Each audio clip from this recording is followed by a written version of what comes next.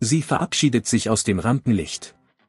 Ruth Maria Kubitschek, 92, hat die deutsche Filmwelt seit 1966 maßgeblich geprägt und ihren großen Durchbruch mit Francis Dobritges dreiteiligem Kriminalfilm Melissa gefeiert.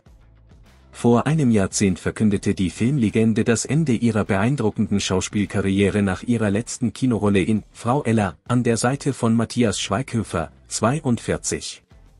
Doch nun, ein letztes Mal, tritt Ruth vor die Kamera, um sich den Fragen des Sternmagazins zu stellen. In ihrem abschließenden Interview gibt die 92-jährige Schauspielerin einen faszinierenden Rückblick auf ihre glanzvolle Karriere.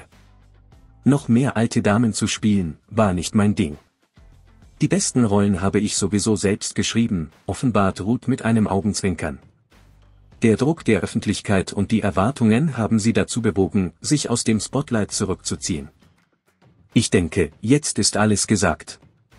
Schon 2018 hatte Ruth sich entschieden, dem Showbusiness den Rücken zu kehren. Damals sagte sie gegenüber der Münchner Abendzeitung, ich mache jetzt für euch diese große Ausnahme, und fügte hinzu, das wird mein letztes Gespräch für die Öffentlichkeit sein. Keine weiteren Interviews. Das war's. Tauche mit uns ein in die bewegende Welt von Ruth Maria Kubitschek und erfahre, warum diese Ikone sich nun endgültig aus dem Rampenlicht verabschiedet.